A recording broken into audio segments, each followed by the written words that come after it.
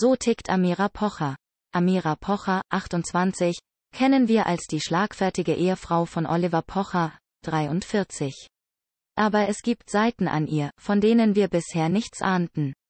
Zum Glück versorgt uns der TV-Star selbst mit kuriosen Geheimnissen über sich. Und gesteht dabei auch eine kleine Sucht.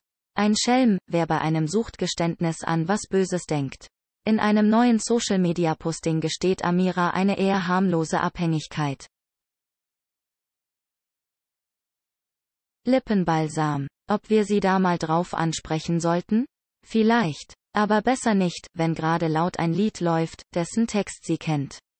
In einer solchen Lage mag sie nämlich gar nicht gern angequatscht werden, wie sie ihren Followern erzählt. Okay. Amira, ist notiert. Falls wir den Fehler doch mal begehen, können wir's ja vielleicht mit einem schönen Parfüm wiedergutmachen. Oder, ach, stimmt, das magst du ja auch nicht? Davon wird mir schlecht. schreibt sie pauschal über jedes Parfüm. Hm. Tja, wie bügeln wir das jetzt bloß aus? Richtig. Einfach ihre Lieblingsfilme zusammen angucken. Am besten mindestens 20 Mal. So häufig schaut Amira nämlich ihre favorisierten Streifen oder Folgen von Lieblingsserien. Im TV kann Amira sich nicht sehen. Zwar guckt sie gern 20 Mal und mehr denselben Film. Sich selber kann sie im TV aber nicht sehen, wie sie verrät. Ihr Befremden, sich selbst auf der Mattscheibe zu sehen, mag groß sein.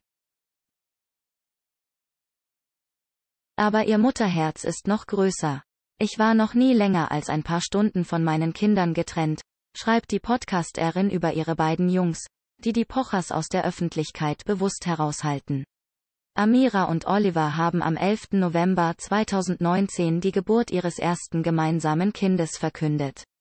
Am 27. Dezember 2020 gab der Komiker schließlich die Geburt ihres zweiten Kindes bekannt. Insgesamt hat Oli fünf Kinder.